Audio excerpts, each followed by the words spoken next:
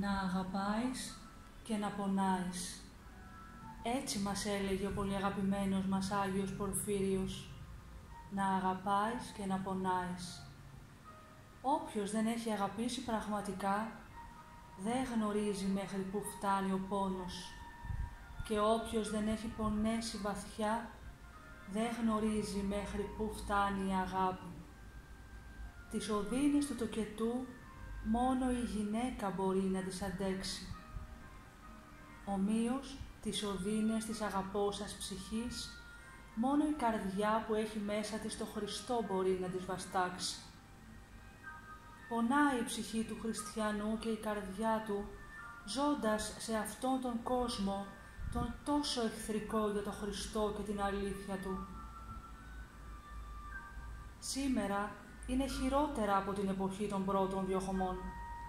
Το μίσος εναντίον του Θεανθρώπου και όσων τον αγαπούνε είναι αβυσαλαίο. Απλώς τώρα δεν το λένε ανοιχτά όπως τότε. Ο διάβολος έγινε πιο πεπειραμένος. Κρύβει το μίσος του, το καλοπίζει με ωραίες λέξεις και με ψευτοαγαθά συναισθήματα. Βλασφημούμε το Θεό όχι αποκεφαλίζοντας όσους τον αγαπούν, αλλά αποχαυνώνοντάς τους. Τον βλασφημούμε όχι με το να τον διώκουμε, αλλά με το να τον τοποθετούμε μαζί με άλλους θεούς ψεύτικους, προσδιορίζοντάς τον ίσο με τους δαίμονες. Οι ισχυροί του κόσμου τούτου έγιναν απείρως χειρότεροι από τους Ρωμαίους αυτοκράτορες. Δεν έχουν πια ίχνος ντροπής, ίχνος σεβασμού, ίχνος συνειδήσεως. Είναι ολοσχερός βουτυγμένοι στο βούρκο της αντιθεΐας. Πονάει η ψυχή του χριστιανού, βλέποντας τους ανθρώπους να είναι περήφανοι και να παρελάβουν για αυτά που θα έπρεπε να ντρέπονται. Τα πάθη και η ασυδοσία και η ξεφτυλοποίηση του ανθρώπου να γίνονται δικαιώματα. Να αυτοπροσδιορίζονται οι άνθρωποι όπως θέλουν αυτοί και να μας το επιβάλλουν με το ζόρι. Αν δεν δεχτείς τον αυτοπροσδιορισμό τους, σε προσδιορίζουν και σένα. Αυτοί που σέβονται τόσο πολύ τον όρο ελευθερία και που τόσο πολύ εναντιώνονται στις ετικέτες, σε προσδιορίζουν και σένα ως ομοφοβικό, γραφικό, θεούσο, εγωιστή, αναχρονιστικό και τόσα άλλα. Εσύ χριστιανέ δεν θα πρέπει να μιλάς. Ή θα είσαι με τη νέα εποχή ή θα σωπαίνεις. Εσύ χριστιανέ του 2022 θα πληρώσεις τώρα για όλους αυτούς τους χριστιανούς που μας οδήγησαν στην αγκαλιά του διαβόλου και στην υιοθεσία του. Και έχουν δίκιο σε αυτό. Αν εμείς οι χριστιανοί παλαιότερα είχαμε αγκαλιάσει όλους τους ανθρώπους, αν τους δείχναμε έναν Χριστό της αγάπης, της συγχώρεσης, του αγώνα και της χαράς, αυτοί δεν θα ήταν τώρα περήφανοι για τις αμαρτίες τους. Αν δεν τους δείχναμε με το δάχτυλο και δεν τους κρεμάγαμε κουδούνια, απομονώνοντάς τους, κρίνοντάς τους, λέγοντάς τους ότι θα πάνε στην κόλαση, ίσως αυτοί να ήταν τώρα σε δρόμο αγιότητας. Αλλά ακόμα και τώρα δεν είναι αργά. Αρκεί να τους κάνουμε με την προσευχή μας και με τη στάση μας να δουν ότι υπάρχει ο δρόμος της μετανοίας, ο δρόμος του Χριστού.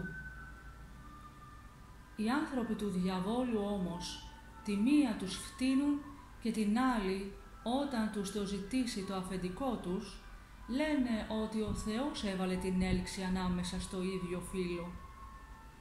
Μετά από δύο χιλιάδες χρόνια Αποστόλων, Αγίων, Θεολόγων που δεν είχαν φτάσει σε αυτό το ύψος της θεογνωσίας, έρχονται τώρα οι καρεκλοκένταυροι υπάνθρωποι με τη θεολογία των μασονικών στόων να μιλήσουν για το Χριστό και να μας ανοίξουν τα μάτια. Τι ηρωνία! Πονάει η ψυχή του χριστιανού βλέποντας καθημερινά και παντιοτρόπως να φτύνουν κατά πρόσωπο το Χριστό με τις αποφάσεις τους και τις επιλογές τους. Όλοι οι άνθρωποι, αλλά κυρίως οι υπονομαζόμενοι άνθρωποι του Θεού. Και οι ίδιοι αυτοπροσδιορίζονται έτσι, γιατί μόνο άνθρωποι του Θεού δεν είναι. Αυτοί που βλέπουν τους θεσμούς και τους παράγοντες αυτού του τόπου να ασελγούν ανελαίητα επάνω στο πίμνιό τους και όχι μόνο δεν αντιδρούν, αλλά τους δικαιολογούν κιόλας και ηρωνεύονται εμάς, τα παιδιά τους. Και το κάνουν αυτό για να μην χάσουν τα τριάκοντα αργύρια, τα λάφυρα της προδοσίας τους.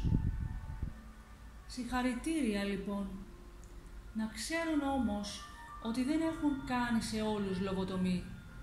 Δεν τους έχουν αποκοιμήσει όλους. Πάντα ο Χριστός θα φυλάει ανθρώπους δικούς του που όσο λίγοι κι αν είναι θα είναι ανίκητοι γιατί θα είναι με το σωτήρα Χριστό.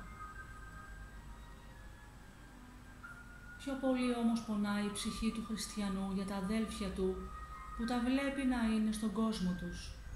Ενώ όλοι οι άλλοι ενώθηκαν στο όνομα της παγκοσμιοποίησης, στο όνομα του διαβόλου, άνθρωποι τελείως ετερόκλητοι μεταξύ τους, εμείς, μια χούφτα ορθόδοξη, αντί έστω και τώρα να παραμερίσουμε τις ζήλιες, τα κόμπλεξ, τη φιλαρχία και τον εγωισμό, είμαστε περισσότερο διηρεμένοι από ποτέ. Αντί να συσπηρωθούμε, να γίνουμε ένα, όπως προσεύχεται ο Χριστός μας τον Πατέρα Του και Πατέρα μας, εμείς κοιτάμε ποιος έχει πιο πολύ δίκιο, ποιος έχει πιο πολλά μέλη στην κλίκα Του και παρόμοια. Σε άλλους λες Χριστός Ανέστη και σου απαντάνε έρχεται πείνα, έρχεται σεισμός, έρχεται πόλεμος. Σε άλλους λες χαίρεται και σου απαντάνε βάλε τη μάσκα σου. Στις κατακόμβες οι χριστιανοί ζούσαν και πέθαιναν για τον Χριστό και ο ένας για τον άλλο. Γι' αυτό ήταν και ο Χριστός μαζί τους και η Εκκλησία του θριάμβευε. Τώρα, αντί να είμαστε ένα, είμαστε όλοι ένας και ένας περιχαρακωμένες οντότητες. Πάμε στην εκκλησία για να βρούμε σύντροφο, για να βρούμε παρέες, γιατί έτσι μας έμαθαν οι γονείς μας, από συνήθεια, γιατί έτσι είναι το σωστό. Αυτά και άλλα πολλά σκέφτομαι εδώ και καιρό και δυστυχώς πολλές φορές η λύπη με σφίγγει σαν μέγενη και προσπαθώ να δικαιολογήσω τα αδικαιολόγητα και να μπω υποκάτω όλων των ανθρώπων να τους αγκαλιάσω και να τους αγαπήσω πιο πολύ. Όμως δεν μπορώ και κράζω στον Κύριο πως δεν μπορώ και τα δικά μου τα πάθη θεργεύουν περισσότερο. Και τον ρωτώ τι να κάνω να φύγει ο πόνος που μου πλακώνει την καρδιά. Και όπως τα σκέφτομαι και τα νιώθω όλα αυτά, έρχεται όπως πάντα αναπάντεχα η απάντηση μέσα από ένα τραγούδι αυτή τη φορά μόλις άνοιξα το ραδιόφωνο.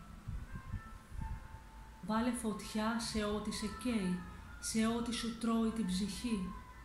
Έξω οι δρόμοι αναπνέουν διψασμένοι, ανοιχτοί. Είναι η αγάπη ένα ταξίδι από πληγή σε πληγή.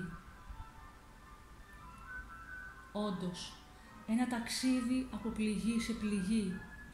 Κάποιοι δεν έχουν πάρει χαμπάρι πόσες πληγές παράσιμο σου αφήνει η αγάπη. Απλά κάποια μέρα που θα πεις την αλήθεια, σταματάς να υπάρχεις για αυτούς. Δεν πειράζει όμως. Αρκετά. Τώρα θα βάλω φωτιά σε ό,τι μου τρώει την ψυχή. Ήρθε η ώρα να την αγαπήσω κι αυτήν.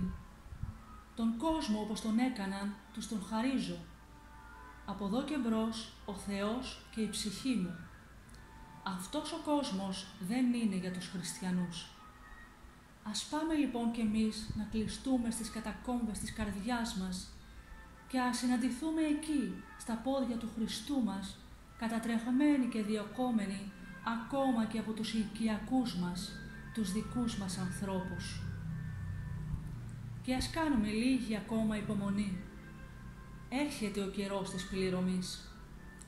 Η αντίστροφη μέτρηση φτάνει στο τέλος της. Αμήν.